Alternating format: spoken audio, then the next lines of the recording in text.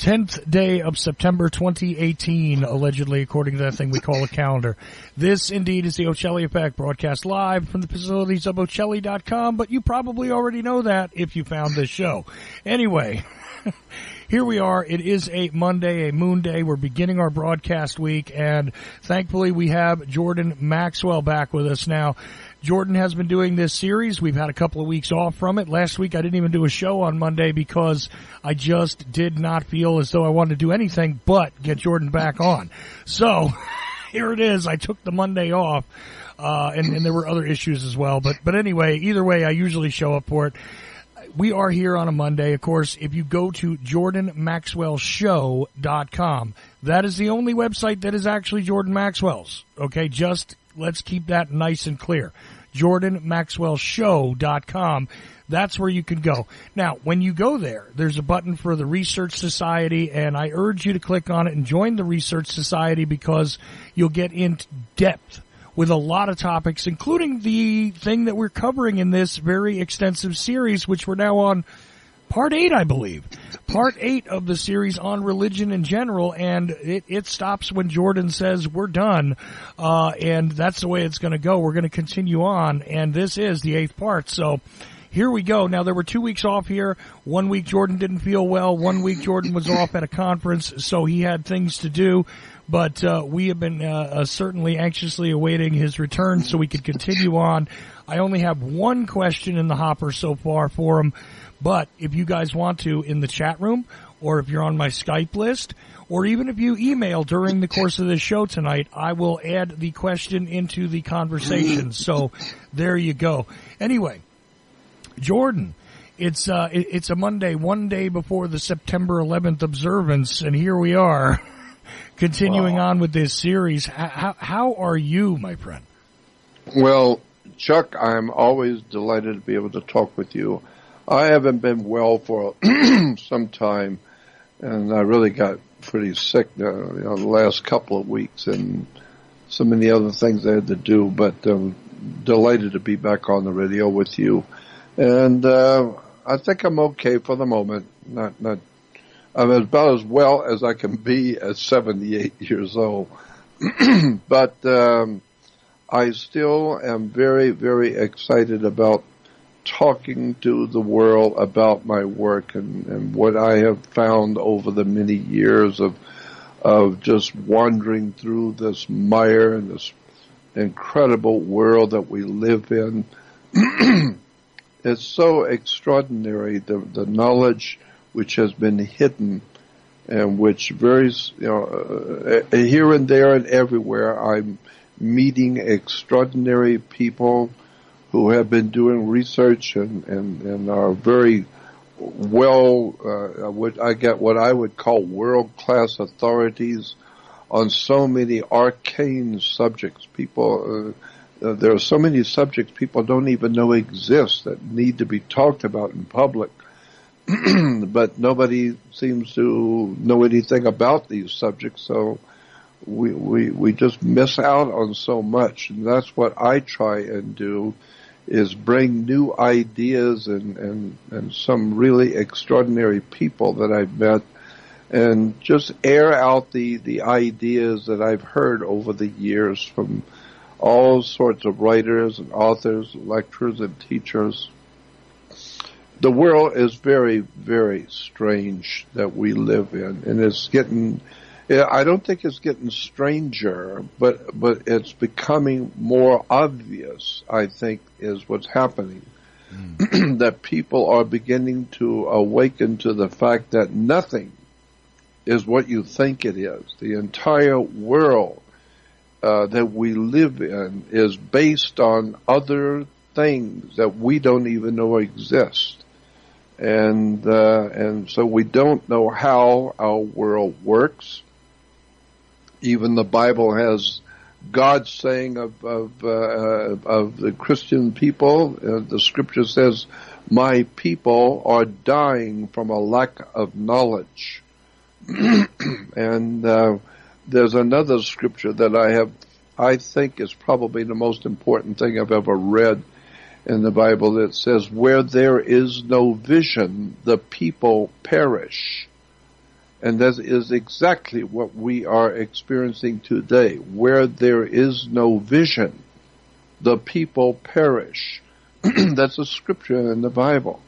But what it's basically saying is when the human family uh, has lost its sight, it's lost sight of, of what it is and what it's supposed to be, if it's lost its vision of, of, of, of the world that we live in, and you don't know how the world works, you don't know why or how you got here and where you're going when you leave.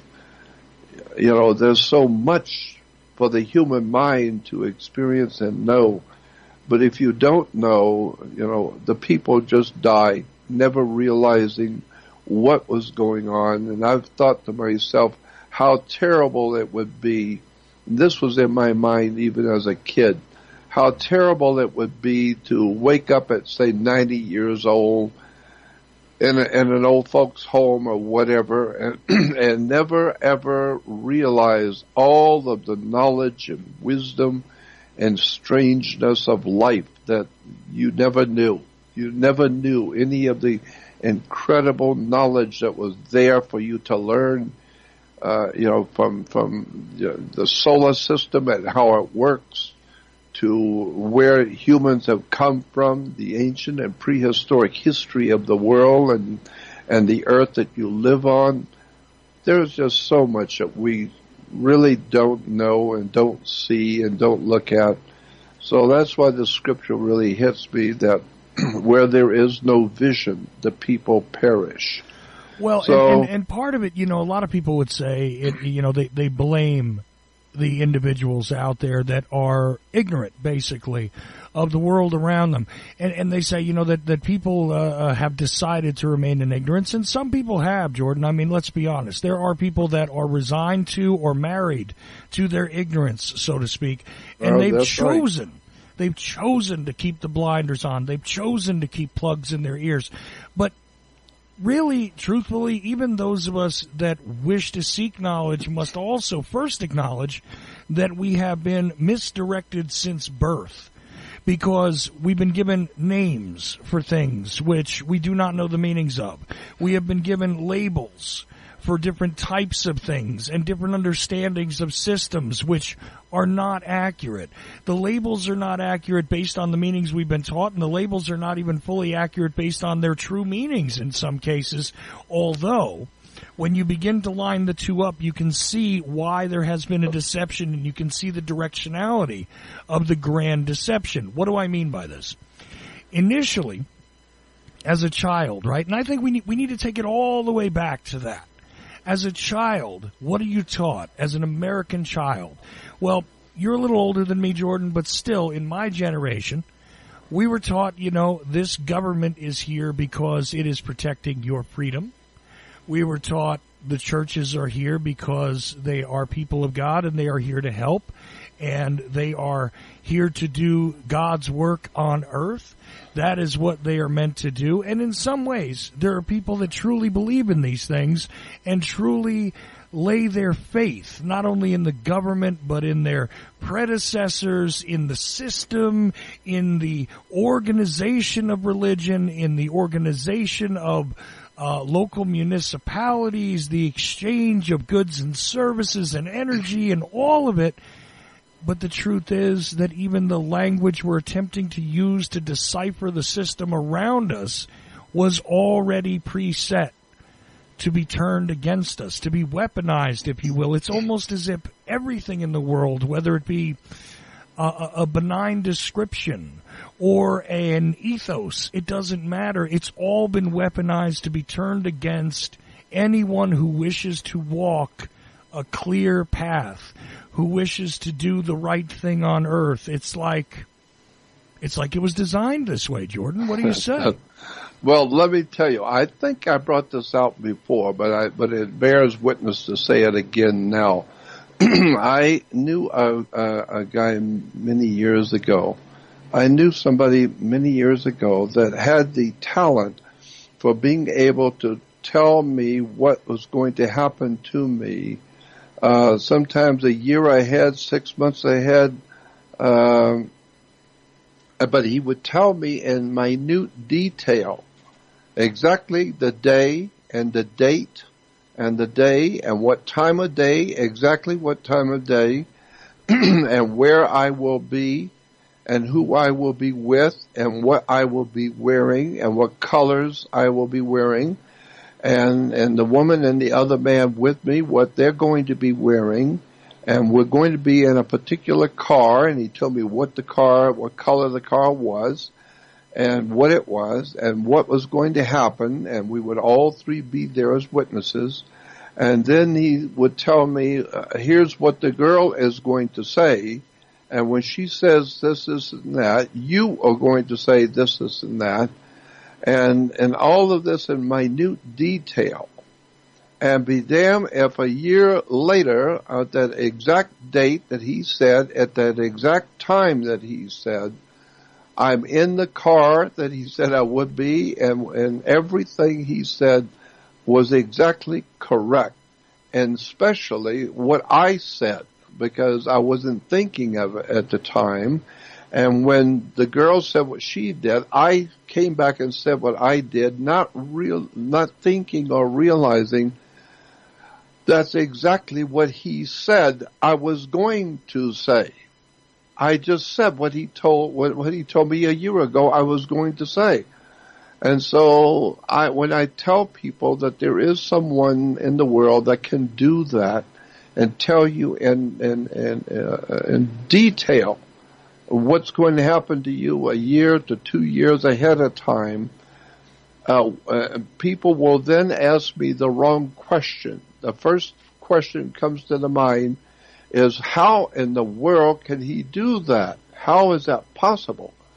But that's the wrong question to ask. The correct thing to ask is the mere fact that he can do it what does that tell you about your freedom in your life? What does that tell you about your life that you are living today? That if someone can tell you two years ahead of time and give you the exact day, month, day, and hour, and what you're going to be wearing and what you're going to say and what's going to happen, and it all happens exactly correct what does that tell you about your human life on the earth and the so-called your human freedom? What does that tell you about human freedom? It implies, obviously, you don't have any freedom. You may think you have a freedom, but if someone can tell you in exact, uh, in exact detail two years before that implies that there's some kind of a computerization of life in this universe, some sort of a computer. Uh, I'm just using that because your brain is a computer and your body, your physical body is a biological battery.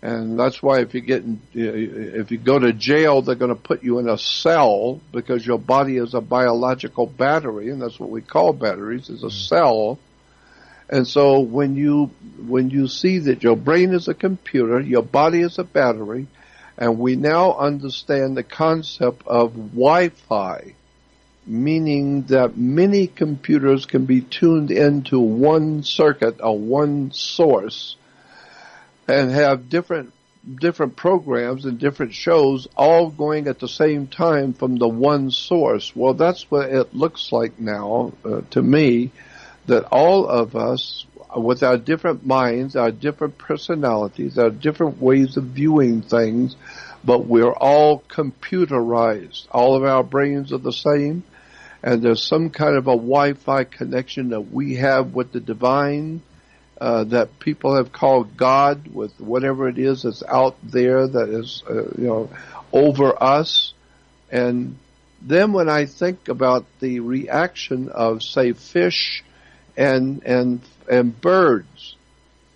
How many times have we seen uh, pictures with thousands and thousands of fish in a school uh, shooting along in the water, and all of a sudden they all turn instantly. Instantly, they all turn and go an opposite way, and then instantly they turn uh, uh all at one time and they all turn and go a different way. Well, birds have done that. We see them doing that. Where the whole flock of birds will be flying one way and instantly they turn and go a different way together. Everyone made that decision at that very moment. What does that imply? It implies that there's some kind of an unseen uh, uh presence over us that seems to be uh, playing out some kind of a pre-programmed life system in this universe. And, and, the more I look at the earth and the more I begin to contemplate all that we see out there in our telescopes of planets, and the planets are all beautiful, but they're just round planets with zero, nothing but dirt. Uh, but our planet is so consumed with so much life from from from uh, flying creatures to dinosaurs to fish. Uh, the oceans are filled with life, and all the kinds of life forms that we have on the earth. Where did this uh, this this planet we call Earth? Where in the hell did it come from? Mm-hmm. And why is it we are so in, uh, inundated with life forms that are coming and going? I mean, the whole systems of life forms die, but that's all right. It's all right because whole systems of life form are coming into being continually. So you, you, you know, you really need to go back and think about this earth, who we are, how did we get here, and why is it that some people are able to read not only the Akashic record of the ancient past and tell you things, but they can also tell you in detail what's going to happen to you a year, two or more in the future. What does all of this imply about your life? Well, you it's know, you know what's interesting still. here, Jordan, is that there's actually a question and a comment from two different listeners that fit perfectly into what it is you're saying right now. So I'm going to enter those into the discussion. Uh, yeah. First of all, in the chat room. uh, a regular listener of the show asks, uh, or basically comments that uh, he saw a documentary that implied that deer, herd of deer, uh, actually make a decision by voting. It looks like, at least based on the nature observational show, you know, one of those nature shows where they try and show you what the behaviors of particular wild animals are like uh, apparently they, they, they appear to almost make take a vote before they go running. Now, there's lots of systems of organization, and this leads into the question that I have on Skype, which by the way, if you guys want to enter a question into the chat room, feel free. If you want to enter one on Skype, that's fine. Or email me at info at ochelli.com and I will read them during the course of this live show and save them if I don't get to them tonight, uh, for Jordan in the future. The question then comes in regarding all the various systems. Now, is a very long question, but I'm going to get right to the heart of it quickly. Um, you know, regarding all these different systems and how people interact and the concept of the uh, quote Christ consciousness between people, the uh, the the interconnectivity, that Wi-Fi you were talking about, that natural Wi-Fi, uh, and they observe all this and they talk about the systems between animals and everything else. But then they ask this interesting question at the very end. Uh, what is Jordan's view on the concept of basically this reality in and of itself being a computer simulation? Uh, a la Philip K. Dick, this kind of thing is what they threw in there at the end. But uh, that's really what they want to know is uh, is what do you think about the idea that we're actually all existing within a computer simulation where perhaps uh, someone on a higher level of it, uh, uh, another simulation has programmed it, or potentially the source, the uh, the individual God consciousness has created this entire simulation and all of its complexities uh, according to a numeric algorithm, and uh, we are all existing in something that could be easily predicted if you can see beyond the code. Uh, so that was the question from the listener, and I leave it to you. Well, I think that there is something actually to that. Uh, and, and, let me go. Let me go on to to add another dimension to this question.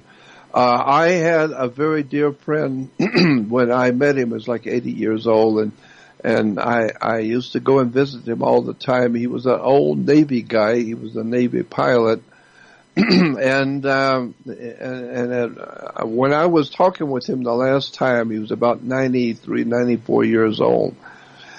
And uh, we were we were visiting. I was visiting him in his home, and he uh, with a bunch of other people, and he was telling us about an experience that he had. This is a 94 year old man, a Navy Navy guy, and but he was telling me that he was uh, a, a squadron leader. I think the term would be where he was leading a whole group of other planes, and he was the lead uh, captain. And he said we were through, we were in the Bermuda Triangle, and he said, and uh, when you go through the Bermuda Triangle, uh, pilots know, and everybody else who's done it knows that your compasses immediately once you enter the Bermuda Triangle, your compasses uh, do not work correctly.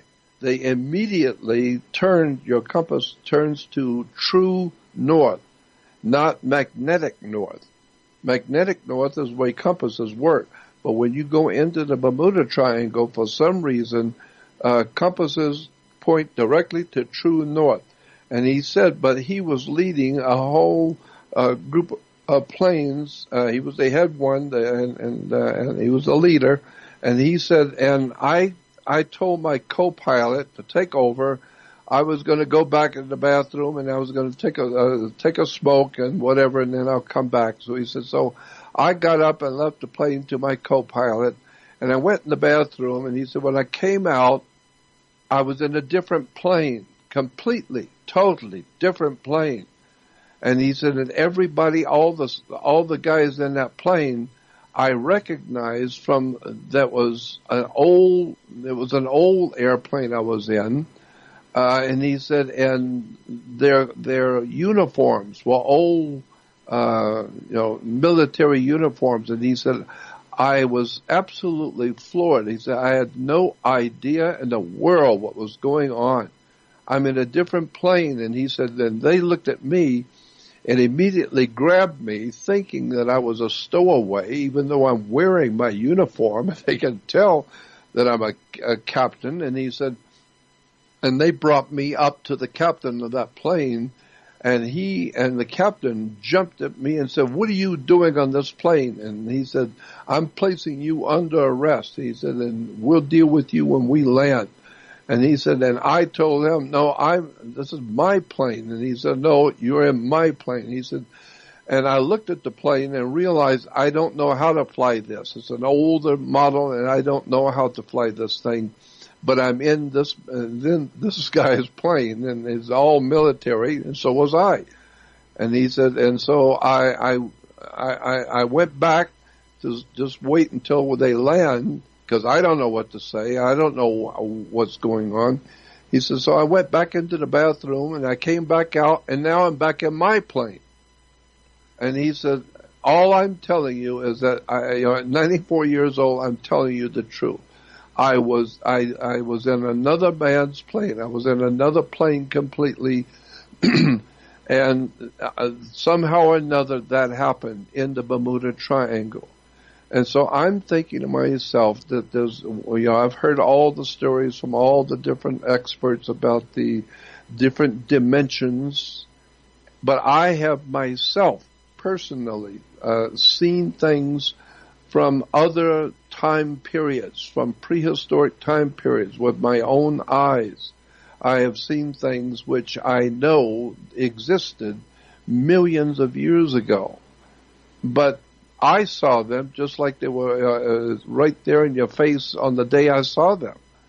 And so I, I know that there's some kind of a connection that we have in our life today that there are other dimensions which are existing all around us. And of that, there is no doubt in my mind whatsoever because I've seen too much. I have heard too much from other people who don't know each other, and I've talked to people around the world, and I've heard so many stories of people who have who, who are in this dimension but experienced something in a dimension which was a million years ago. And so, mm. uh, a classic example is the day uh, in Los Angeles that I, uh, it had been a rainy day, a, a, rainy week, and I knew that the air would be very clear. And so I got up very early in the morning and I drove up to uh, the Griffith Park Observatory, which is on a high mountain overlooking all of Los Angeles in, in California coast. And I went up there because I realized it's going to be crystal clear and beautiful and I want to see Southern California, you know, early in the morning when the sun comes up. And I parked the car and I was the only one, I was the very first one when they opened up the, uh, uh, the, the road to the observatory. And I was seemed to be the only one there at the at the time. And so I walked out to the observation deck overlooking Southern California by myself, and I'm standing there looking as far east as I could, uh, way out into the east, which is out by Santa uh, San Bernardino, which was I don't know maybe 50 or 100 miles out from Los Angeles. And there was some really heavy white clouds out there in the horizon and I saw a little black dot on that on that cloud, and it was very distinctively little black dot. And I thought to myself, anything that I can see from out 50 miles away as a black dot must be big. I'm wondering what in the world am I seeing that far away? And so I stared at this black dot, and since there was so many white clouds between uh, L.A. and San Bernardino, I could watch it as it was coming toward me. And as it got close to Los Angeles, as it came in close, it came right over my head. And I was the only one there, but I saw a pterodactyl. This incredible uh, bird was so enormous, so huge. I recognized it instantly. I know what a pterodactyl was supposed to have looked like from all the artwork and etc. And so this thing was enormous. It looked like a, a 747, but it was not flapping its wings. It wasn't flapping its wings. It was it was caught in the stream of air and going extremely fast. It passed over me like four to five times faster than a 747 would. But it was enormous in size and it went straight out toward the ocean uh, towards Santa Monica, and I was uh, my mouth was open. I couldn't believe I'm seeing a pterodactyl, and as it went over me, it went toward the ocean. Santa Monica uh, was uh, at the ocean, and I watched it as it was going towards Santa Monica, and there was a heavy cloud mass out over the Pacific, uh, off the coast of Santa Monica, and out of that heavy cloud mass five other pterodactyls came out one by one. They were following each other. The first one came out of the the the the, the uh, cloud mass. The next one followed. The next one followed after that, and eventually all five of these pterodactyls came out of the cloud, and then the one that passed over me uh, came and joined them as if they was expecting him or something. But it, it, the one that flew over me went out and joined them, and then the six of them circled around the, the, the city of, uh, of Santa Monica in a circle, and then one of them began to go back into the heavy cloud mass over the Pacific, and each one of the others followed until all six had gone back into the cloud mass, and they were gone.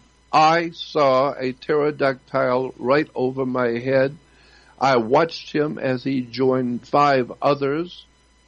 It matters not what anybody thinks or what anybody believes. I'm just telling you what I saw.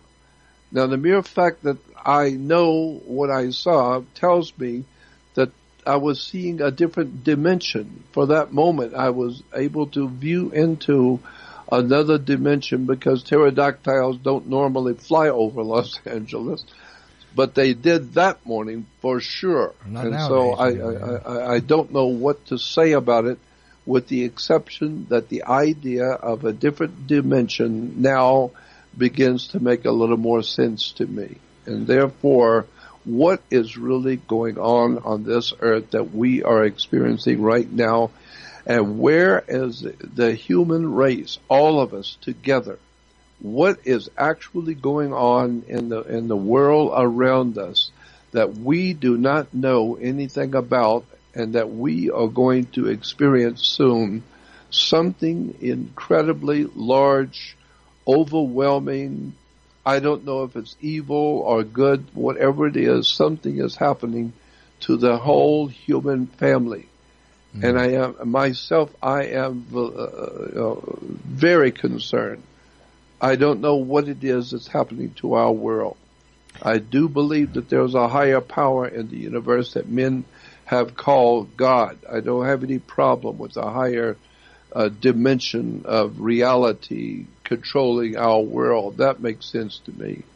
But I'm just saying the earth you live on and the things which have happened on this earth that have no explanation whatsoever. And if you want to look at some of that stuff, just get the book, The Complete Works of Charles Fort. That is an extraordinary book. You can get it today. Just order it from your bookstore. Or you can go on my website, Jordan Maxwell Show, and you will see recommended materials. Click on it and find the book, uh, Complete Works of Charles Fort click on it and it will take you to Amazon to buy the book. You really need to get that book. Complete Works of Charles Fort. In that book, a very thick book, it's actually three books in one. The man Charles Fort, back in the 40s, 30s and 40s, uh, he began to research all of the strangest phenomena which has happened on the earth that no one can explain. That was the important part of his book. Things which have been reported in newspapers, magazines, and on in the media that have happened on the earth, and he would document and footnote each paragraph where he found the article, what newspaper, what date, what page, he uh, the footnotes are incredible. That in case you want to go back and do the research on it, he tell you he told you exactly where he got the story. But the idea is in the book Complete Works of Charles Fort, he explains extraordinary stuff which has happened on the earth that nobody, zero nobody can explain. Well, you know and, what's you know what's interesting, Jordan, is that it's not just the the work of a guy like this who can find newspaper articles about extraordinary things. There are individuals who experience extraordinary things that they never quite report, or if they do, it's an anecdote many years later. I mean, I can give you right. an instance of something that happened to me in 2002 that I don't believe I've ever talked about on this show which uh, I'll give you the very short version of it. But what happened is I went in for a surgery, and when I I was put completely under, you know, anesthetized. When I woke up, it was the only time in my life I can recall that I had no concept of how much time had passed. Um, I, you could have told me that I was put to sleep two, day, two days ago, two years ago, two hours ago. It wouldn't have mattered. And when I woke up, I was unable to speak because the surgery was on my throat. Okay. But what was truly strange, and this has faded over time because I've had to reconcile it in my own mind. What was truly strange is that I, I can only barely articulate to you that the entire world looked different in December of 2002. Colors were different people were different. The appearances of common objects, their relationships to one another were entirely changed by my perception. I mean, there was just, I recognized things, but they were only vaguely recognizable. They, they did not match any of my memories. Nothing. Not my, uh, not, not my, my, I had, I had two children at this point. They, they did not match my memories as far as their appearances went. I knew who they were. I recognized them just enough to know who they were. I knew where my home was, but that didn't look the same. Nothing appeared quite the same. Over time, like I said, my mind sort of, you know, made peace with it. But to be honest with you, toward the end of 2002, the entire world looked different to me. Sunlight looked different to me. Everything. started to look different to me. Um, so there are the experiences that an individual can go through that change their perceptions ever after. And I can imagine that seeing a pterodactyl would certainly change your perceptions. You know, you're not looking at a movie screen, you're not asleep, you haven't done any drugs. Oh, there's a pterodactyl, uh, and, and I'm not arguing with you that that's what you saw. Now, all of that, when you think about what I just said and what you just said both together, it seems like maybe the concept that the listener was asking about, about the computer simulation, seems a little more sensible because if you kind of tweak a program or you corrupt a file a little bit, sometimes it functions, it functions differently, things change. There's a little, you know, everything is supposed to be according to ones and zeros in the computer world, but the more you work with this stuff, you start to learn that uh, these things actually have a little bit of a give and take. There's a little bit of a margin, a blurry area here. Not everything is cut sharply to the numbers, right? So sometimes one program bleeds into another. A program does something it's not supposed to do. Programs break, you know, stuff like that. So if you can imagine a super, super sophisticated generator of a virtual reality that uh, possibly we are in, that makes such you know wonderful sense, has so much depth to it, so much you know uh, uh, amazing diversity to it, uh, so many amazing organizing principles and interactions and characters and colors and everything, right? Absolutely. Every once in a while, there there could be something that's like a, a glitch, a problem, a uh, a happy mistake. Even maybe there's some things that happen where it's like, you know what, it's better that way that it's broken. Um, and it, it, you know, I, I'm not saying that I absolutely agree with the idea that we're living in a simulation, but I certainly can't discount it. And it sounds to me like you're saying basically, listen, I don't have proof that that's the way it is, but I don't think anybody could prove to you that that's the way it isn't either, right? that's my feeling. I, uh, I, my feeling is is that I've heard and actually with my own eyes seen too much in my life. I, my life has been filled with extraordinary experiences. And so I just have to look at the whole of my life's experiences.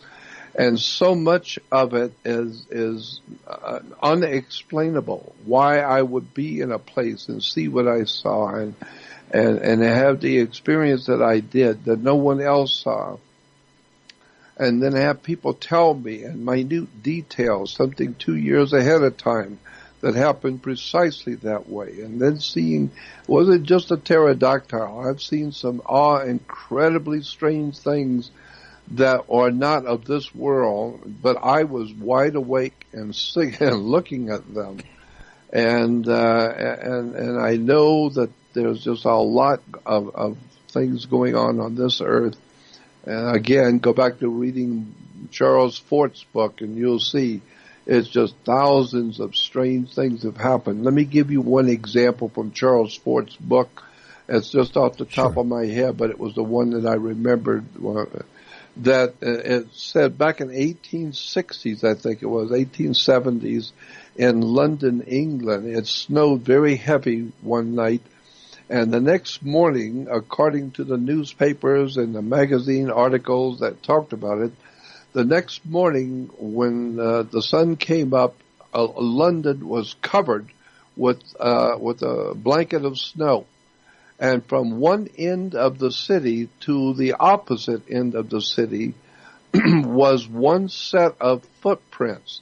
They looked like about uh, a couple of inches, uh, maybe two and a half inches to three inches uh, long, about an inch and a half wide of a little footprint of some sort, but it walked all the way across London in the snow. One little tiny footprint, whatever it was, walked all the way across uh, of London in the snow. But the cra- the crazy thing was, is that the line it walked in was so straight, it was a laser line.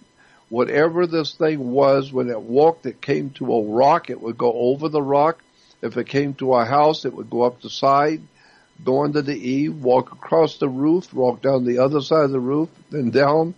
And so it walked in a perfectly flawless straight line across London, a little tiny feet walked across London in the snow. Now, what caused it? Nobody knows. How do you explain it? Nobody has in court and could explain it. It's just there. Now, what are you going to do with it?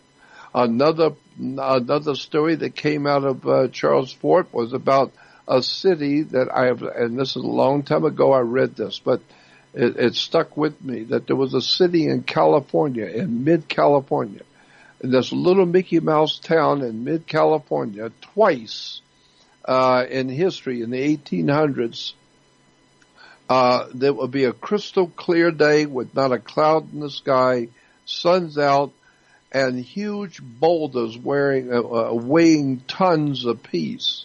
Some like one and two tons apiece, uh, huge rocks and boulders would fall out of the sky onto the city. But it would take all day for them to fall. They weren't falling at a normal rate of speed. Uh, you could sit there and watch them all day coming, and they would take a long time till they finally came down and just as they would touch the earth, they would begin to bury themselves in the earth and the dirt and the earth would blow up around it as it was, you know, being impacted by these boulders. And the, and when it was all over and it's all settled, the boulders were were sunk into the ground as exactly the way they would be if you had dropped it out of a a plane or helicopter, whatever, it was dropped into the ground just exactly the way it would be.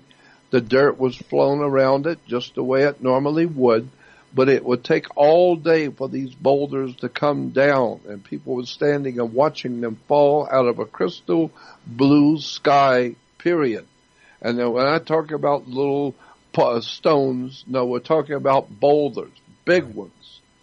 And well, where did they come from? Uh, we don't know. And uh, you know, how do you explain this? Nobody can. That's why we don't talk about it. We don't talk about things we can explain because it would imply that you uh, that you're an, uh, a fool and you don't know the answers to things, and so that would make you look bad in the public eye if it's something that you can see with your own eyes and can explain it. Well, scientists don't talk about things they can't explain. They don't even uh, they don't even uh, relate to it. They don't even talk about it. Why? Because they can't explain it. And if they tried to explain it, that would you would show them to be imbeciles because they don't understand what they're talking about. They don't know how to explain it. And so therefore now you're seeing that they're just people like everybody else. Scientists are no more smarter than anybody else. And so if they can't explain something and they didn't find it, then they don't want to talk about it. Well, I'm the kind of person, I'm fascinated with the world of the occult, the unseen world uh, that's that's all around you. People and places you are experiencing. You know, we have all kinds of strange experiences, and I've talked to people, and they every now and then somebody will tell me, well, you know, just like you just did they will tell me about their experience. And these are military people. These are very important people, doctors. These are and uh, people of, of means, people, important people in this world. But because I'm talking with them, they'll begin to tell me about experiences they had that was a challenging to their imagination, things that they saw and experienced. So I'm just saying all of this to, to basically say this. The world that you live in is not what you think it is. It's far, far more serious and actually frightening if you really look at what has happened and, and how there is no explanation, no matter how smart you might be. Experts do not have an explanation on the stuff that's gone on in this world. Right. And, and there's so many books, so you know, many books. You know what's great about this though is that actually you've spawned a couple of interesting commentaries that have come at me now. Uh, one of them, which I, I want to focus on really quickly, because I've had this experience as well, where uh, where I've talked to uh, just you know on the ground kind of soldiers who have been involved in uh, various uh, various activities. You know, uh, I've spoken with a lot of Vietnam veterans, for instance. Uh, I've spoken to uh, you know veterans of uh, various Persian Gulf uh, engagements. Let's say um, I've spoken to people from the Korean War. I've spoken to World War II veterans. Okay, but uh, a lot a lot of Vietnam veterans because that is an area of interest for me. Mm-hmm. many of them have reported some very strange things. Uh, things that uh, that that they identify as either you know alien activity or uh, natural occurrences, creatures that they cannot explain, that they that they are told do not exist, uh, you know, stuff like that. And I find it really fascinating too that you said scientists want to tell you that uh, you know dismiss a lot of these things. They certainly do, but what religion does with it is really interesting. When you uh, you know you go to a pastor and you try and explain some of this, right? And if they believe you, if they believe that you're legitimate about the report you're giving, um, they will tell you that uh, you know it's either God's will or it's something demonic, right? right. Um, quite often, like you were talking about your friend who knew the exact details of something that might occur uh, a year, two years ahead. And uh, there, there are the rare people. A lot of people think they're psychic. They're not, but truth is there is a rare occurrence out there. There are some people that can simply see things long before they happen and they can see a great many details, maybe not all of them, but uh, they can see some interesting details. And uh, some people would say that either this is good or evil. You know what I mean? Especially with religion, right? Uh, uh psychics are evil. They are yep. they are part of the uh, the devil's work, if you will. Uh, and, and they would tell you that, that perhaps you saw that pterodactyl because you were in an area where there's a great deal of evil. So this is part of the devil's deception and, and things like that.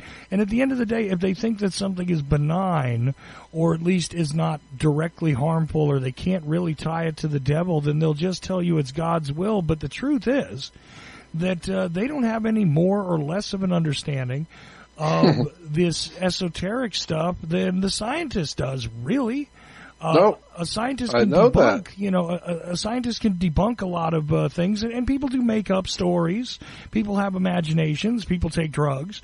Uh, you know, where they go somewhere else for a little while, but it's not really this reality.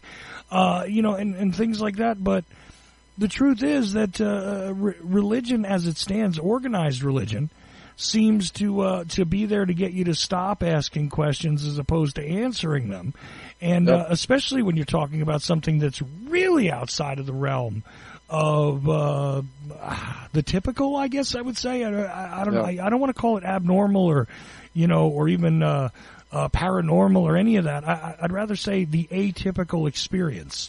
They'll often yes. try and direct you into this. Well, it's either a, a, the work of the devil or it's the work of God, and that's it. That's the end of the discussion.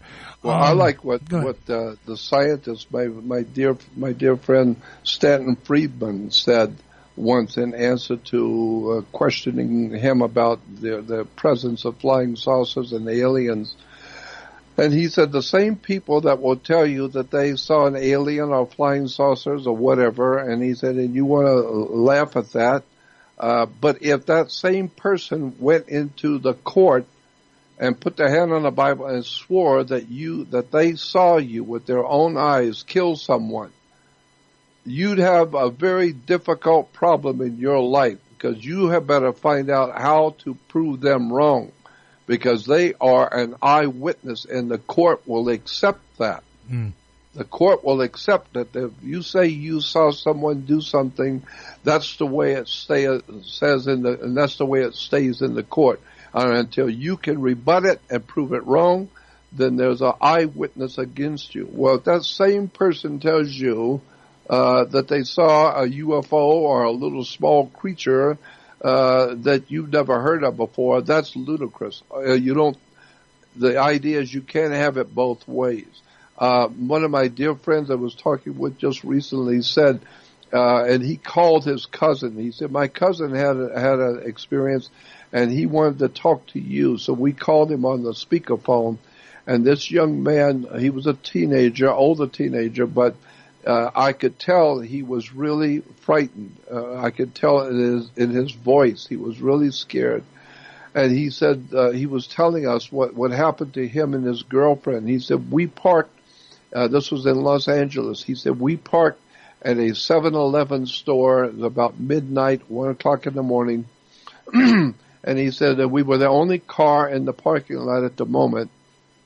And he said we saw a cat on this on this uh, brick wall uh, that divided the, the properties.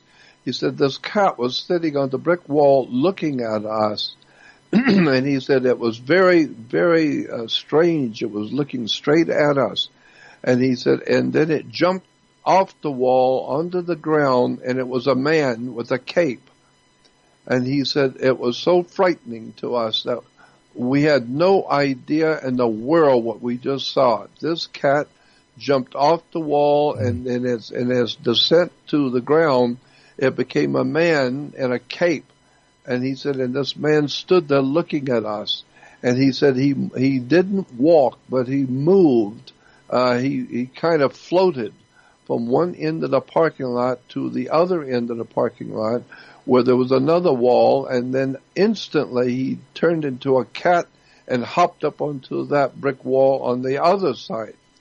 And, and so this kid said, I, it scared my, my girlfriend and I and and I could tell he was legitimately frightened. And and so, what do you make of that? A cat that turns into a human, and then a man turns back into a cat.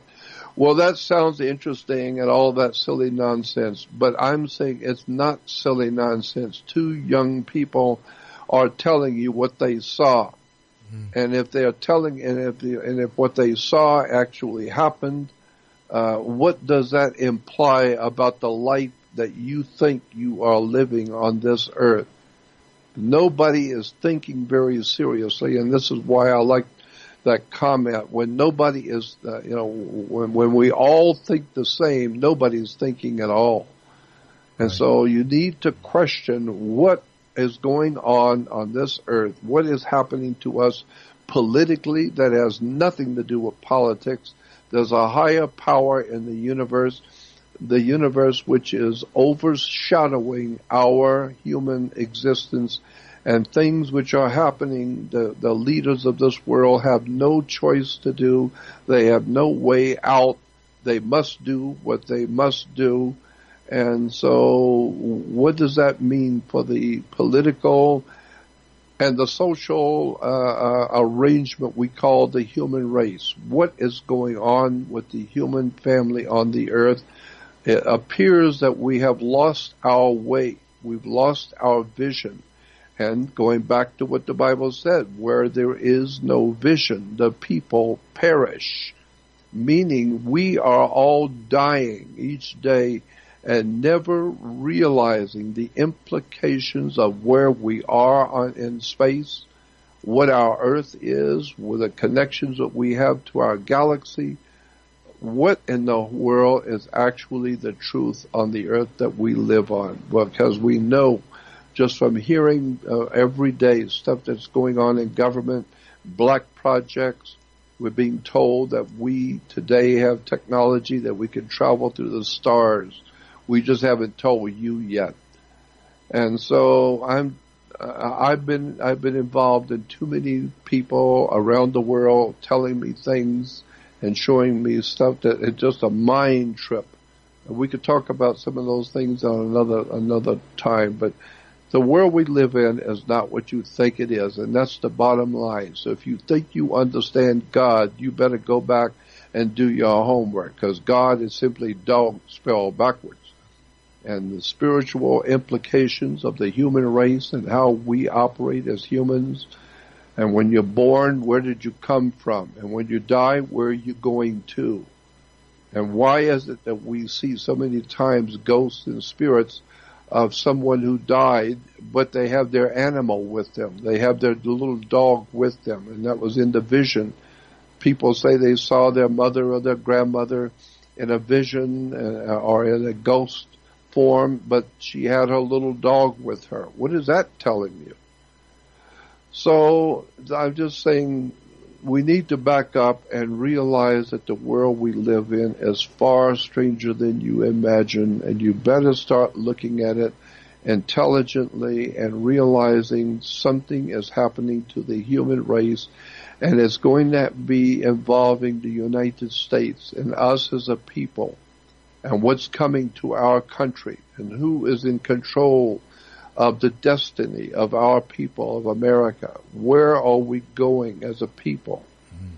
What is happening to our country and to our young people and to, and to the human family itself? I believe we are in a very, very dark and serious time of finally beginning to wake up to the reality that is so far above our heads we don't even begin to know. And that's why I think the stuff that's happening, I see happening in our country today, something is going wrong. Something bad is, is, is, something's wrong with our world system and it's falling apart. And so that's why I admire, I would admonish people, you better go back and start looking at the reality of the world you live in. It's not what you think it is. Well, absolutely true. And look, we are just about at the end of the first hour here, so I'm going to remind people to go to jordanmaxwellshow.com uh, and continue to take a look at Jordan's work. Also, to join the Research Society, there is a one-time fee to get in there with a lifetime membership, and it's not bad. This goes into this subject which we're covering tonight, as well as a whole slew of other things: recommended reading, videos, uh, you know, a, a whole a whole ream of images and things are being added constantly by your webmaster over there at jordanmaxwellshow.com.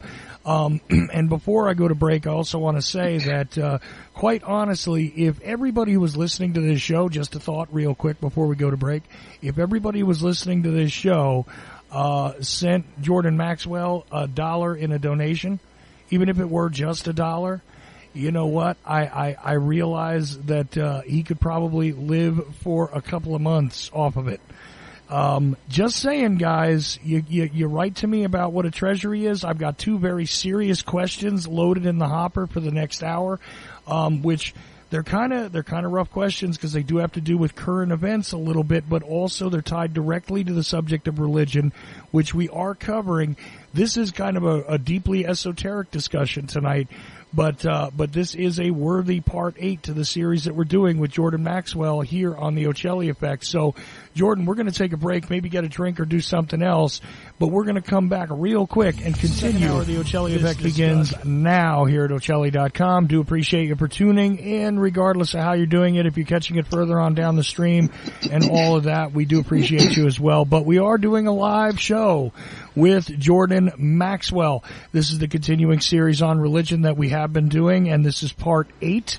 You can enter questions and comments in the chat room, or if you're on my Skype list, that's fine too. Uh, I will also take emails at info at ochelli.com. I have a tab open to keep track of that. If you have a question you wish to pose tonight, get it in. Um, not taking phone calls because I don't want to get thrown off track here, but uh, but more than happy to add your questions and comments into the discussion. Meanwhile, if you go over to Jordan Maxwell Show, that's jordanmaxwellshow.com. That is the only website which is actually Jordan Maxwell's. Lots of other things use his name, but that is his website, and that's the only place where you go to get in touch with Jordan Maxwell. If you email him through that website, he'll write back to you. Uh, you know, it might take him a day or something like that. You know, he gets a lot of emails, but quite honestly, I know he'll write back to you. I know that uh, if you send him a, a, donation, he'll certainly be thankful. If you uh, sign up for the Jordan Maxwell Research Society, which there is a button for at jordanmaxwellshow.com, he would also be rather grateful, that's for sure. Uh, and you know what? There is more knowledge there than you're going to get anywhere else. Uh, the the Research Society is a one-time thirty dollar fee for like a lifetime membership, which is great. But uh, but anything interactions. I mean, obviously, send some of these emails to Jordan about how you know uh, really great it is to hear from him. Let him know that you heard him on this show. I'd appreciate that. Uh, but anyway uh, you know, you could interact with Jordan, and he is one of these rare treasures that we have access to, and I'm extremely proud to have him on this show. So, we're continuing this discussion about religion, and we're about to get into some contemporary topics. Uh, unless there was something else that was still uh, kind of rattling around in your head, Jordan, and believe me, uh, I, I, know it rattles a lot louder in mine because there's a lot more emptiness in mine than there is in yours. But there is uh, there's possibility that there's other things rattling around still from last hour if you wanted to complete them, and if not, I'll move on to some other questions. Now, in part nine, I think we're going to have to go back into the Old Testament some more. but yeah, but fine. tonight we're we're going through some very interesting esoteric odds and ends. And uh, I almost feel like that's what this ought to be called, the esoteric odds and ends uh, episode of this series. But anyway, we'll see how it goes. Uh, Jordan, is there anything you want to add into before I get into the next question from a listener? Yes. Uh, when you have, uh, especially Christians will uh, will volunteer that what I'm talking about is demonism and devil worship, etc., etc., and that all of these silly things that I talk about, seeing pterodactyls and all of this is a bunch of foolishness or demonism or devil. But what you're not thinking about, Christians are not thinking about. Look, go back into the Bible, into the uh, into the Old and New Testament, and read about the strange things which happened according to the scriptures when Moses lifted up his arms and, and the, and the ocean and the, and the great oceans opened up and, and millions of people walked through the, the bottom of the ocean, uh, when there was fire from heaven and, and demons and poltergeists and devils and, and demons and a man uh, in the New Testament.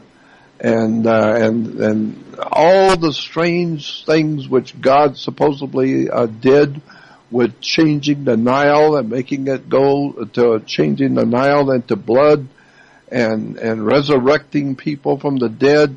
All of those strange things which uh, are powerful stories, but God doesn't do that anymore. He's not doing anything anymore. Why? Uh, and, but but when you do have experiences and you do see things today, that's of the devil.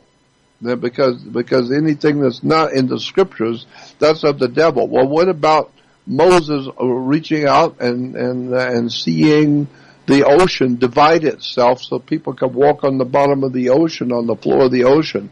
Uh, but uh, for some reason, God's not doing that kind of thing anymore. He doesn't do any of those spectacular things in the Bible. Uh, it just, he's not doing that stuff anymore. He's out of the business. And I wonder why. What are you talking about? That there was, you know, all these incredible uh, experiences that are, people saw in the Bible and talked about, where they saw demons, they saw angels, they saw uh, great, uh, uh you know, things in the Book of Revelation in the heavens and you talk about the signs in the heavens. Well, yeah, there are 12 signs. They're called the signs of the zodiac. The 12 signs of the zodiac. So if you, you know, the Bible tells us to watch for the signs in the heavens. Well, that's uh, zodiological signs in the heavens. So I'm just saying that if you're going to condemn somebody who's telling you what they experience, it's the same thing that if you were back in the biblical days and and God gave you a vision, people would mock you and laugh at you and say that you were crazy because you know the Romans called the Christians according to the history books the Romans the ancient Roman Empire Christians were referred to as atheists they were godless according right. to the history books why because they didn't worship the Roman gods. and if you don't worship the Roman gods, you're obviously an atheist. And therefore, uh, when you begin to look at Christianity in its very beginnings, Christianity was nothing but a retelling of a religion that was already in existence in Rome. In the Roman Empire, there was a religion called Mithraism. And Mithraism uh, was the main state religion that almost all Romans uh, uh, uh began, belonged to and accepted as the major, uh, you know, theological uh, truth of the day in the Roman Empire was Mithraism. Well, Mithraism later on mutated and it became known as Christianity today. But go back and read the history books. I don't write history books, I just read them. Go back and read the history of Mithra. And, and, and you will begin to see Mithraism was the beginning of Christianity and the ancient Roman Empire. uh, it's an extraordinary story about the, the coming down through history, march through human history of religion and philosophies and ideas about the divine presence in the universe that men have called God. I mean, there's all kinds of gods and, and, and belief systems that have developed over the tens of thousands of years ago. And I am totally convinced that um, all of these ideas have been given to us by higher uh, extraterrestrial minds that have uh, been feeding us these ideas. There's a scripture I found in the in the uh, in the um, Islamic. Uh, uh, what's the name of that book again? The Quran. The Quran. Yeah, I'm sorry. I'm getting old and I've got too much stuff going on in my mind. But in the Quran, the, as God says, we, I, am just paraphrasing. I'll have to find it and give you the exact scripture, but it says in the Quran, we, we, W-E meaning more than one, we have given you your religion. We are the ones who came down and gave you your religion. Right. We. I'm thinking, what do you mean we? We have given you your beliefs and your religion. That's in the Quran. Well, it's, obvious somebody higher up is communicating with us, with humans, and they're telling you, if you're reading the Quran and you think you know about God, well, we, W-E, more than one, we gave you your religion. We are the ones that came down and gave it to you. See, but well, if that's the case, you better go back and find out who's we. Well, that that would be a good idea, but you know, there, there's something to be said here because, eh, look, there there are those that believe that there is one chief deity, right? Uh, regardless of how many gods or whatever angels are below them, so on and so forth. There's a hierarchy. They come to this conclusion that there's one God, you know, and, and the one God, let's just go with their premise for a moment. The one God created everything. The one God gave you a tree, it doesn't necessarily mean you know what, what to do with it, by the way. Okay, you, you could turn it into a book. You could turn it into shelter. You could, uh, just make it grow. You could let it flower and create fruit. Who knows? You, there's lots of things you could possibly do with that tree based on what's been placed here. Your life itself has been given to you. But here's an interesting thing, and, and I want to pose my own question, but also bring in the question from a listener with this. Um, and, and I pose this question to many a, a, an allegedly learned person when it comes to religion. The idea that the one God, okay, and, and I don't believe that there's one, by the way, but okay, put my beliefs aside. Um, the idea that this one God created all things. They'll tell you that it's in the scripture they created all things. I could tell you that that scripture says Elohim, which means a plurality. But anyway, let's just take their premise at its face.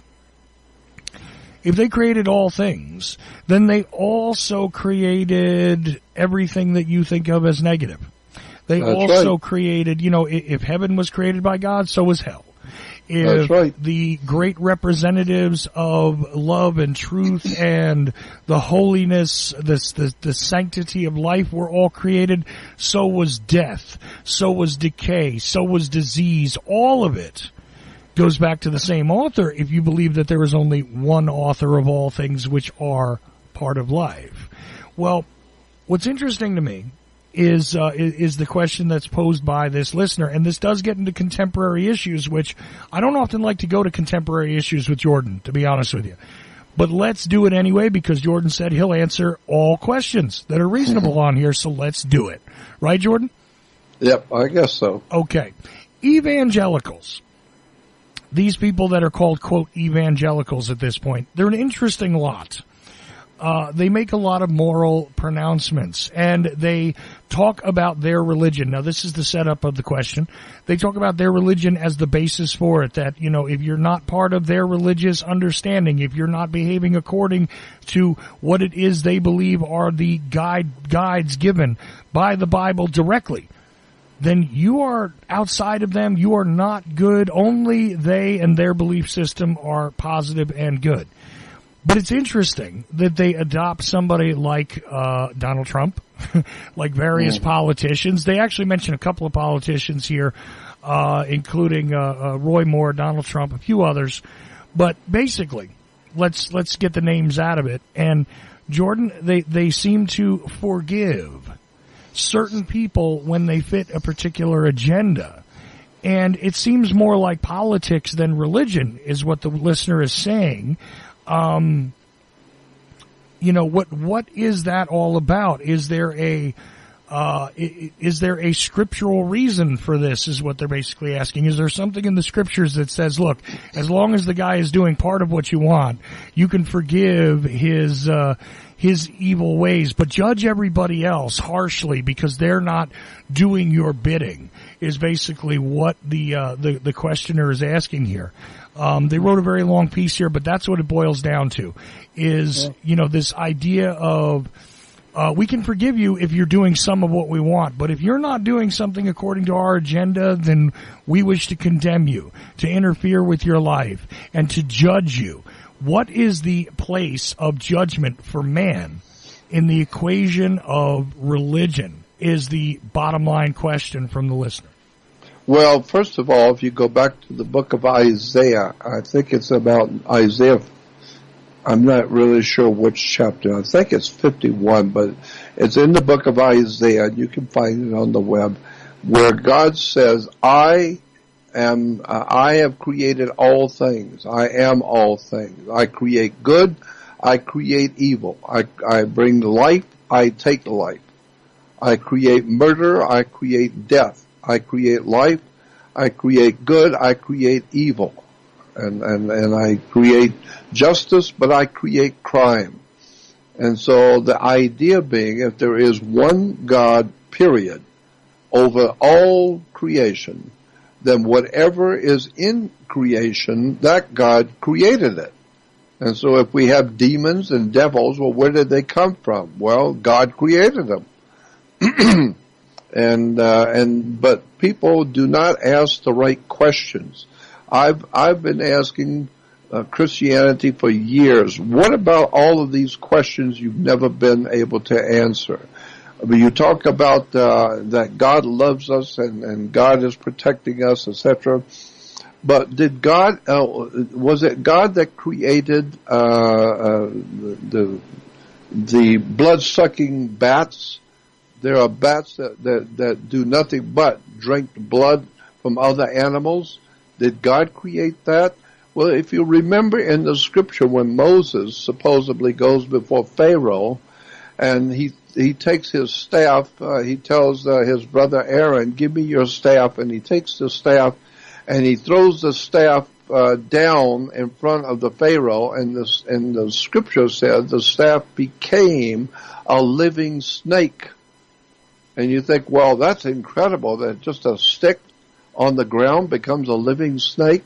Well, but the scripture goes on to say that the magic practicing priest standing next to Pharaoh, Pharaoh ordered his priest to do the same thing.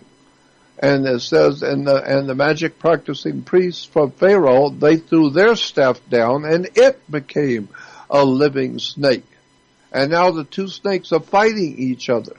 So I'm saying, as a, you know, I was 10 years old and asking in, in school, and religious school that I was going to, uh, a very early age, well, wait a minute. If, if that means that the evil, uh, well, that's the devil's work. Well, wait a minute. If the devil can, can uh, can create something that's alive, just like God supposedly just did.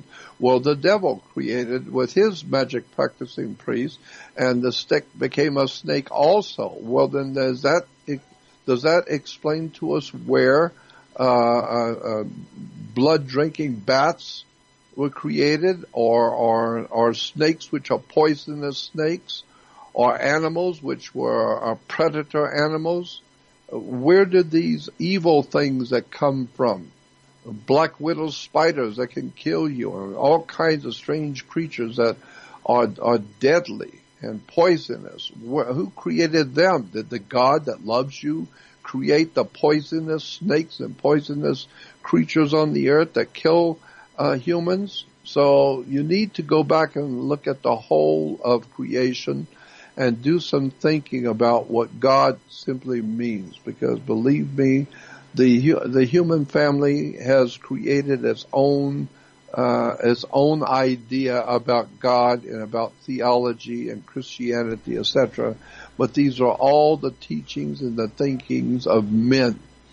Right. And what's in, really incredible in my in my mind is the fact that the, the two thirds of the whole New Testament, uh, so many of the of not only the uh, what was called the epistles or the two thirds of the New Testament story and the Christian Christian scriptures was written by the a man named the Apostle Paul. Well, the Apostle Paul was actually referred to as Saul of Tarsus first, and later when he became uh, well, later when he began writing uh, for Christian scriptures, he became known as the Apostle Paul. But Saul of Tarsus, and even as the Apostle Paul, he was not a classic Christian. He never saw Jesus. He was never uh, taught by the apostles. He had nothing to do with the, the original Jesus. He was uh, uh, what is called a Gnostic, and he was a Greek Gnostic, and and and the the things which he says in the scriptures is Greek Gnosticism, and it can go it can be traced back to the ancient Egyptian Gnostic religions. So the Apostle Paul, that Christians look forward to as being the writer of two thirds of the whole New Testament story of Jesus, was not a Christian. He was a Gnostic. And so if you understand Gnosticism, that's why there was such a persecution of the Gnostics during the early ages and during the early days of the Christian religion because the church did not want people to know that the apostle Paul was not a Christian. He was a Gnostic. Go back and do your homework and you will find so much that's written in the Bible was written by people you don't even know existed and they were talking about things you've never heard of before. So uh, I'm just telling you that the entire story of Christianity and religion in general requires you to un, uh, uh, to disconnect yourself from your personal religious belief and start doing some thinking on your own. Why is it that God does not provide uh, the incredible miracles He did all through the Bible and Old Testament, New Testament, but He doesn't do anything like that today. Mm. And and so many of His prophets were seers and fortune tellers that could tell the future and see the future and uh, and all of that. Well, that's why that's fine because they they were working for God. But if you do that today, you're obviously a devil worshiper.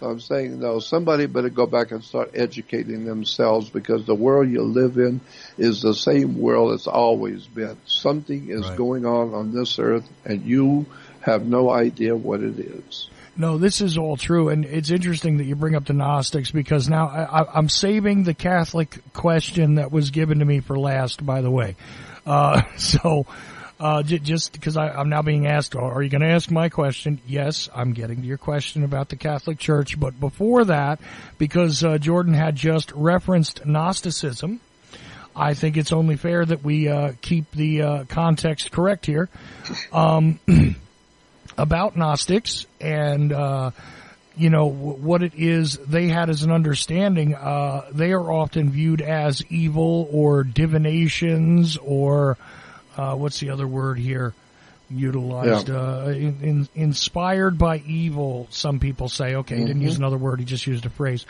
Um, and Gnostics, in reality, are just people that uh, believe in a slightly wider frame. For instance, there are what they call the Gnostic Gospels, which are now gathered into singular texts. I'm reading this. Um, and the singular texts now state that these are the books of the Bible which were not included. Okay, I, I know where you're going. And uh, yes, uh, look, I, have read these things. I find them rather interesting. Uh, when you take a look at what was chosen to be included in the Bible, we, we started talking about that on another show. Perhaps we need to dedicate an entire show to it. But uh, I, I think it is worth noting that uh, you know Gnosticism, although it sounds awfully mystical and everything, I mean Gnosticism sounds kind of like what it is. It's just about knowing and uh, mm-hmm. knowing something a little bit beyond the text. And uh, certainly, this does wind up encompassing some things that would be seen now as uh, the work of the devil, so to speak. Um, it, it, it was something that was not uh, a standard Christian the way that we understand it now. But uh, but really, I mean, I, I don't view it as harmful or as uh, or as an evil thing that must be, you know, oh look, they're they're talking about Gnosticism because it's another thing where we're going to get, you know, you guys are talking about the work of the devil as opposed to, uh, you know, the the good works of God. But again, if you got one God according to Isaiah, that created all this, then he must have created this smaller group of people as well, and uh, also given the divine inspiration for the creation of things like, oh, I don't know, the gospel according to Judas.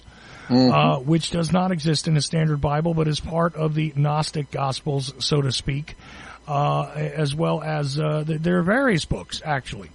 There's, well, let me let me say this quickly. There's about eighteen to twenty books uh, it's on my research website. I've, I've named them and, and, give you examples on my Research Society website if you join. But there's about 18 to 20 books that are mentioned in the Bible today. If you get the King James Bible uh, and and and you're reading it, you will come across about 18 to 20 different books that are mentioned in the Bible as important scriptures in the Bible say, well, uh, and always remember that, that the book of so and so and the book of this and the book of that. So there's about 20 different books that are mentioned in the Bible, but are not in the Bible. They are just mentioned in the Bible as important. And, uh, and so, well, where did those books go to? Where did they go? Well, they were taken out of the Bible. And uh, why? Because they were Gnostic texts. They were Gnostic uh, books, and the and and the and the founding fathers, uh, you know, a long time ago at the uh, after the Catholic Church had their had their big, their great discussions and seminars where they discussed the scriptures. They decided that there's about 20 books in the Bible that that they wanted out. They don't want them. They don't want to take it out just forget it. They don't want to talk about these books. But the books are mentioned in the Bible as being uh, from God. They are they are godly books, but the church has taken them out and do not show them. Well, the original King James uh, did not have the Book of Revelation, which it does today. But it did have the Gnostic Gospels in it. It did have the 18 different books that are not in there today. They did have it in the original. And then if you go back and look at the history of the King James Bible, uh, over and over and over again, the book of Revelation was taken out and then later on was put back in. No, no, later on it was taken out. No, later on it was put back in. Back and forth, back and forth, I don't know, maybe eight to ten times. Mm. The book of Revelation was taken out of the King James Bible because they said it was nothing to do with Christianity at all it has nothing to do whatsoever with the with the uh, classic Christianity. So we take it out of the King James, and later on, a few years later, they said no, this is obviously from God, so we put it back in. So the Book of Revelation itself has been taken out and put back in at least eight to ten times, hmm. and and there's about 19 books that have been taken out. Period. That nobody knows about, but they're actually mentioned in the Bible. So I'm just saying, go back and do your homework if you want to talk about religion. No, absolutely, and Uh, even today, the Catholic Bible actually includes some books that uh, the King James, the regular King James Bible, doesn't. Right? That's right. So Those are the Gnostic Gospels. Yeah. yeah, some of them, some of them, but there are many more. Uh, uh, Yeah. quite honestly, and uh, you know, so so there it is, and and you you could find a, a, a book on them, but of course, uh, Oh, if you want to study them, uh, Yeah. you, you can check out the Research Society at JordanMaxwellShow.com. But Right. anyway. Uh, the last question is this, and uh, it, it is it's an ugly question, so let's brace ourselves for a second. um, okay, so the the listener wants to know that uh, basically because there are these constant uh, controversies, which you know, for those of you on the other side of the pod, controversies uh, that uh, that that keep emerging from the Catholic Church regarding uh, you know the the predator priests uh, taking advantage of children. Is there something in their literature that uh, what what is the word they're using here that that makes Causes this kind of reaction. yeah, Yes. basically that's that's Yes. what it is. Is there something in their literature that that Yes. makes this seem to be uh, uh, something that won't go away? Is there something in the organization, in the organizational principles that promote this kind of behavior? That's that's the word he used. Okay, that promote Okay. this kind of behavior because it seems to, uh, although. All, well, they, they point out that although many religious figures are caught quite often in this sort of uh, pattern of behavior, that it seems to be uh, a disease within the Catholic organization, uh, uh, seemingly more than others, and they're wondering if there's a specific reason for that. That's the whole question, and that's that's based on the fact that during the time that we were off, there was a lot of revelations about thousands of victims, uh, not only in Pennsylvania but in a couple of other states. I, I I know it's you know gone right down the memory hole once the news is done with it. But uh, quite honestly, if you've been keeping track lately, keeping score, you'll notice that there's at least two, three thousand more victims that have been recognized in a court of law over the past couple of weeks. That uh, you know, again, over the the period of the last 60, 70 years, were abused by uh, individuals in authority in the Catholic Church. And uh, yes, the news media covers it for a moment. As soon as it's not shocking to you, it disappears, and then we wait for the next scandal to emerge. But they want to know uh, what your viewpoint is on uh, whether this is uh, something that is built in to the Catholic Church and therefore promotes that sort of behavior. Okay, I have an answer for that. I don't know if you're ready for this answer, but you said it was a very controversial subject. Well, I'm going to give you a really controversial answer. Okay. Actually, actually, if you do the research, if you really sincerely want to spend weeks and months and years, as I have, going through the biblical accounts in the Bible and then looking at the flow of religion from the three major religions, Christianity, Judaism, and Islam, all three are based on, on a far more ancient religion we call Hinduism. But if you start to look at the esoteric, uh, hidden connections of the belief systems of the three major religions today, Christianity, Judaism, and Islam, all three major religions today are based on the worship of sex, period. End of sentence. And when you begin to look into the biblical dictionaries and encyclopedias and really start to devote uh, years of your life to studying the words and the terms and the symbols in religion, you will find that the, uh, the all three major religions and probably most of the religions of the world are all actually based on the worship of sex. Period. Okay, but That Jordan, I've got to stop you here for one reason. That, is- but that's a fact of life that can be proven in a court. No, and, and I believe you, but I got to stop you for one reason only. If I were, now I'm just going to speak from my heart, from my position, right? If I were to become obsessed with sex, okay, um, I would chase women, Jordan. I, I, I, I, I would clearly just chase women. I mean, th- th- this is what I would do. Okay, I'm, I'm that kind of guy.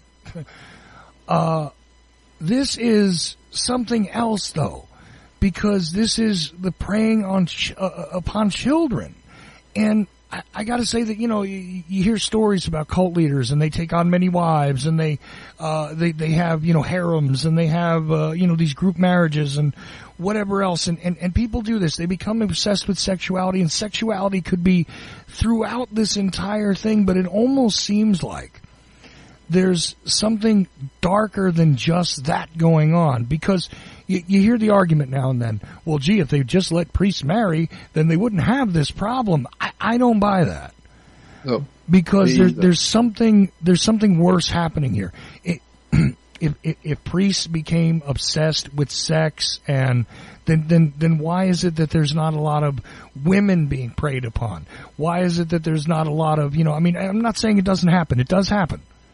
But what I'm saying is that when you're talking about the preying upon children, victimizing children, that to me is not, it, it's not part of the same equation as sex being pushed forward. Sex being pushed forward is going to, you know, uh, uh, encourage you to follow through on your already existent, uh, proclivities, right? Yep. Yep, of course, of course. So, so what? What is it? This is a little different when you say. I mean, because like I said, if I were, let's just imagine for a moment, I, I was a priest. Um, if I were a priest and I were, you know, mindset, oh, sex, sex, sex, sex, all I would think about is women. All I would think about is how many women I could get, how I could, you know, uh, uh, you know, convince them to come be with That's me, right. this kind of thing, you know, multiple women, whatever.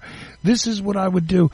But that is not the direction that this sort of thing keeps emerging in. I mean, yes, we do hear about, uh, you know, there, have been popes who've had children. There have been uh, cardinals who've had children with women. They've had relationships. They've had mistresses. They had, you talked about the nuns and how they, you know, came into the equation. But this whole thing with children, it, it, it's got to be a different animal than just sex, Jordan, doesn't it?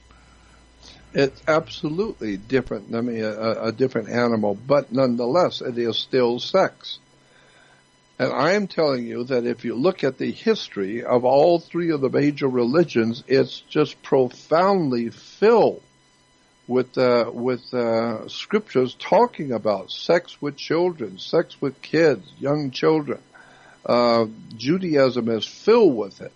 Uh, Christianity is filled with it, and especially Islam.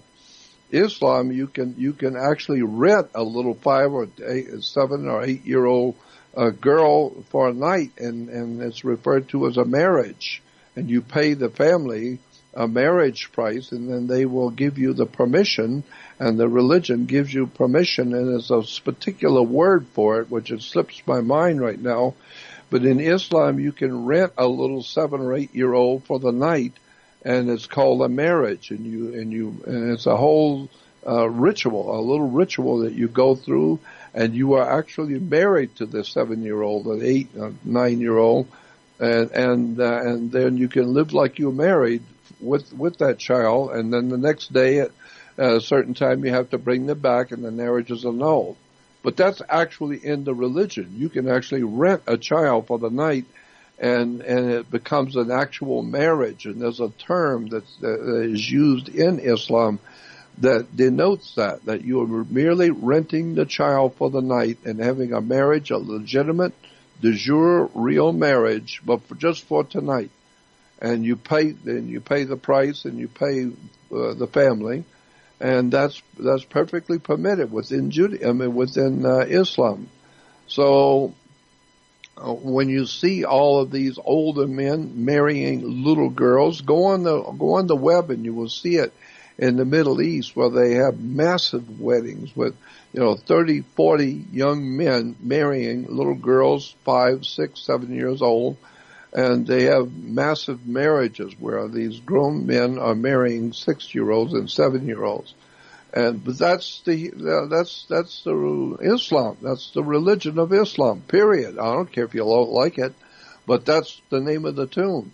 And then, of course, when you get into Judaism, my God, there's all kinds of stuff in the in the in the Jewish religion about the, uh, you know, especially in the in the old Jewish philosophies in religion that they don't talk about today, but it's in the it's in the different religious books of the Jews today.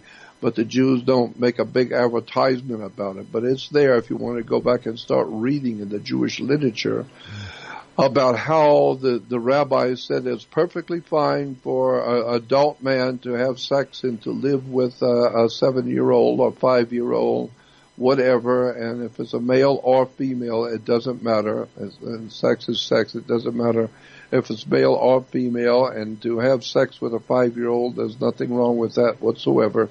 That's in the Jewish scriptures. That's in the Jewish uh, uh, Talmud. And it goes on to talk about the difference uh, uh, that people may think are, are bad and wrong, but in point of fact, in the Talmud talks about if a man has sex with a boy uh, six or eight years old, there's nothing wrong with that. It's not considered anything evil at all because the boy doesn't know the difference. So uh, there's nothing. No one's been harmed by it. That's in Judaism. That is the Jewish religion today. Go back and read it. Mm. Go back and get the old Jewish books, the Talmud and the Babylonian or the uh, the Babylonian Talmud especially in particular, and read it. Read what it says in English. It talks about uh, grown men having sex with little girls, five, six, seven years old. Uh, nothing wrong with that at all. Period. That's part of the religion. Well, then you come to the Catholic Church and Christianity. Well, my God, if you go back into the into the history of Christianity, uh, you know, with all the stories about uh, you know Moses and all the the sexual stuff that's going on in the church during the uh, early Middle Ages, during the founding, especially after 325 with the coming of the Vatican, when there were children who were slaves, they were brought in, and that's it's a whole mindset in religion today of the of the interest that uh, adults have in the the youth and the beauty of young children and so, but it's, it's part of, it's actually a part of the religion of Judaism, Christianity, and Islam. All three are replete, if you will. Take the mm. time and read their ancient books of all three major religions. You will find everywhere in the old scriptures, in the old Jewish scriptures, I was talking about sex with children. Sex with children. You can get married to a little five or seven year old for the night uh, my God, I mean, it's all it's all there. If you just want to take time and go back and read the stuff yourself, and stop thinking in terms of being all holy and righteousness, you better go back and find out what these religions really are doing and what they really came from and what they're actually promoting. And that's why today the world is now replete, completely overwhelmed by pedophilia and sex with children because that's the basis for all three Christianity, Judaism, and Islam. You don't like that? Go back and do the research yourself, and you will find I'm exactly correct. Go back and do it yourself. You know what's strange about that, Jordan, is that quite often you see people uh, who are of one stripe or another pointing the finger at uh, you know you, you, see Christians pointing the finger at, uh, at, at Muslims. You see Muslims pointing the finger at Jews. You see everybody's pointing the finger at everybody else, but uh, nobody takes a look at their own house. You know, that's right. Regarding that's right. this, it, it's kind of interesting. It's like, well, you know, everybody seems to agree that this is not a good thing to be participating. Right. And yet, everybody's doing it. Yeah. What what, what is this? I mean, you know. Uh, well, but look at but the actual the point I would like people to understand. It's it's difficult to try and explain it, but the point I think people need to understand is that when you look at the Old Testament, uh, for instance, in the Old Testament Jewish uh, the Jewish system, and you go back into the Bible and read the Old Testament in the Bible, so much of what you are reading, you don't understand the Hebrew words. The Hebrew words are actually Phoenician words. There is no language called Hebrew. There is a Phoenician language which the Hebrews speak. But if you go back to the old Hebrew words in the Old Testament, in Genesis and Exodus and in the, in the scriptures, you will begin to see if you translate those words what they actually meant in the Phoenician system. And from, from the word Phoenician, we get phonics from Phoenician. We get also the word phony from Phoenicians. And so if you understand that these, the, the, the language we call Hebrew is actually a Phoenician language and you don't understand what the words mean. And then you begin what if you do that kind of research, go to the seminary libraries. I mean, why do you if you're going to become a a, a, a, a Christian pastor, you have to go to a seminary. We have something called a seminaries. Why? It's because if you're going to be a priest or, or a clergyman, you got to go to a seminary. Why? Because the whole religion itself is based on sex. This is why it's called Mother Church. Mm. This is, you know, it's a very big subject that most people have never had the opportunity to be told and shown. And I would love to do that. I, uh, there are so many things I would love to show you in a video, and that's one of the things I'm going to be doing on my research society is I'm going to be, uh, my, my webmaster tells me it looks like I'll be able to uh, create these uh, research uh, videos and put them uh, to stream on my research society. So if you want to see all of my newest videos on all of this dark stuff of sex and drugs and religion and government and banking and how the world really works, not how you thought it worked.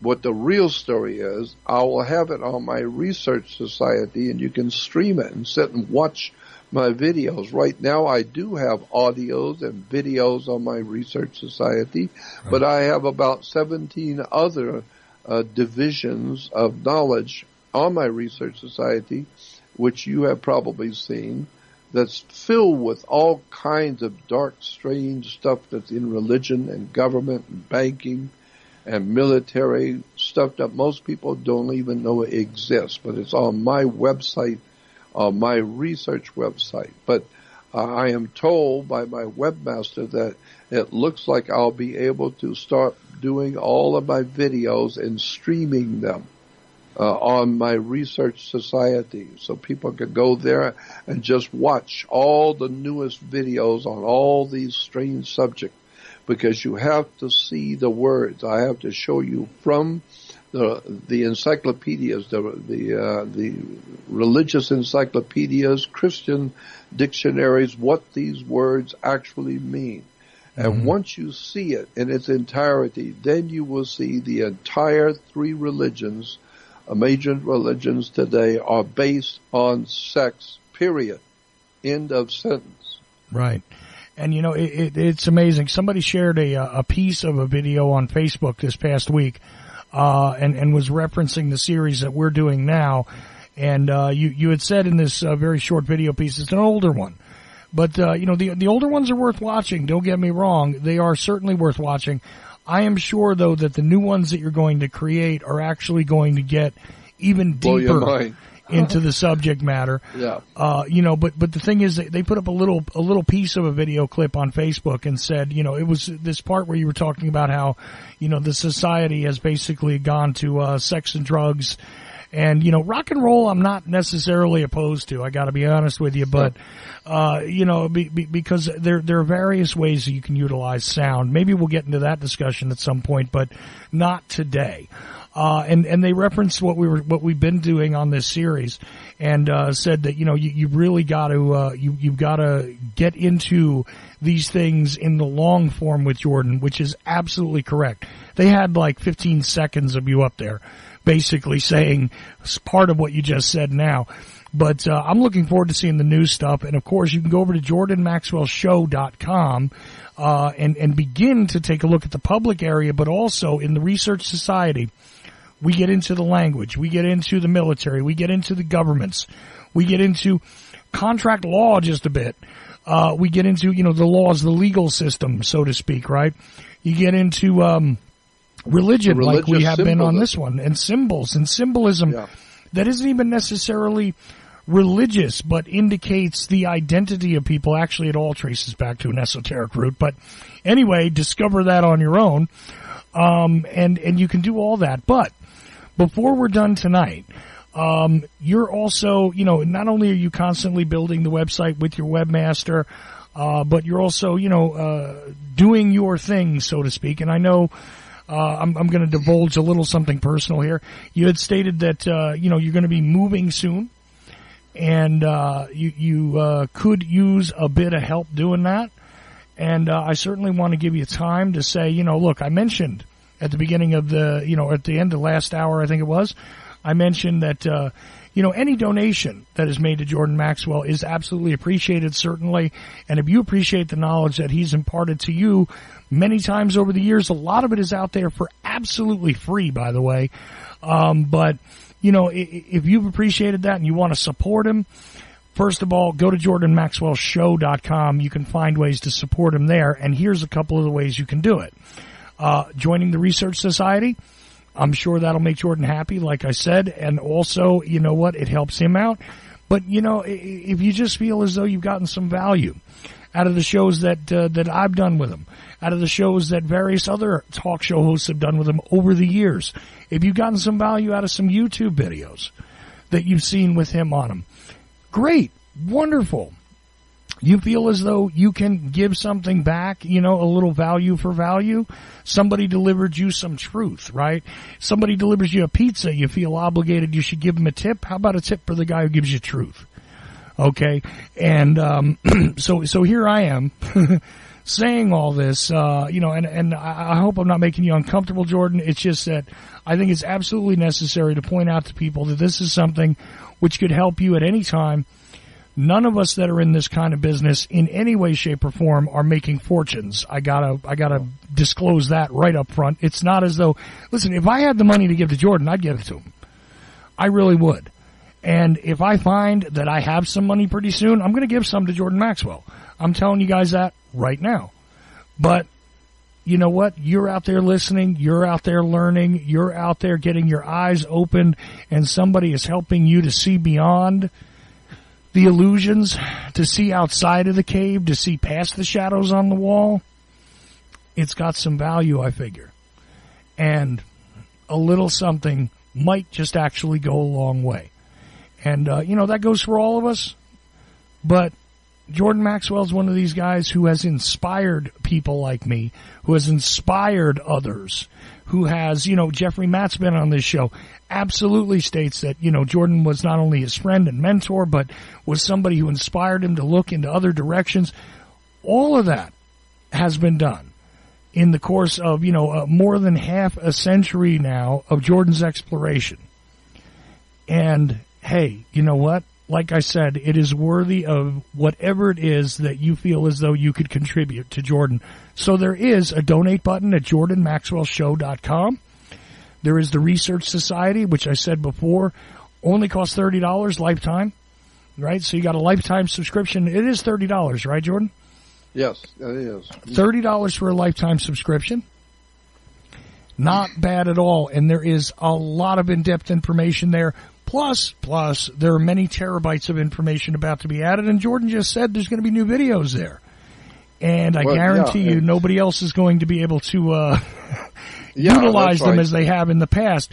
So again, you go to jordanmaxwellshow.com, and if you can find your way to joining the Research Society, kicking in something, sending an email, whatever it is, I'm going to tell you right now, uh, uh, it is absolutely worth whatever value you've gotten from these discussions and the many, many times. I mean, look, I even came across, I don't know how you feel about this, but you know, I, I was uh, rewatching some documentaries, some old ones I had on a computer the other day just because I needed something on while I was working on something and I wanted to have something to listen to. And, um, you know, you were part of uh, the Zeitgeist movies. Yeah, I was the one that started it. Hmm. That's and, what, I mean, that's what they, that's what uh, Peter Joseph said. Jordan Maxwell was the was the reason why I, I did Zeitgeist. That's what he said on, on the air. And the whole Zeitgeist movement is now a political movement in 36 countries around the world uh, which uh, the man who who did the video said Jordan Maxwell was the one that I was listening to, and since he didn't do anything with his knowledge, he's just telling it for free. I put it into a video and called it Zeitgeist. It went all over the world and saw by hundreds of millions of people. And today it's a political, it's a political movement around the world called the Zeitgeist pol- political movement based on my work. But, uh, I live my whole life on, on donations, which I don't get a lot of. And I, I, I'm now in putting to a position where 78 years old, I finally oh, I have awakened to the fact that I don't have anything. I don't have any. I don't have the finances to even get a decent uh, uh, computer. I got a computer that was given to me back in 1998, 99, and that's all I've got is just an old beat, uh, beat up computer. But thank God it still works and I do the work I do on the on the web with an old beat up computer that's old. I live I live on donations of which I don't get very much at all because I'm not out there ranting and raving. I'm not out there promoting myself as a world's foremost authority. I'm not out there doing that kind of thing. Well, I'm just, just trying to point out though, but I'm trying to point out, Jordan, that, you know, okay, yeah, you were part of that and say what you will about the Zeitgeist movement and the Venus Project and whatever else grew of it.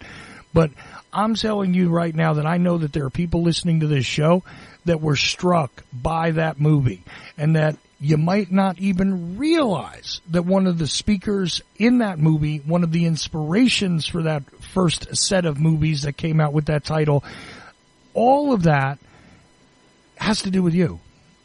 And I just want to, I, I just want to point that out because you have given a lot to a lot of people, whether they know it or not already.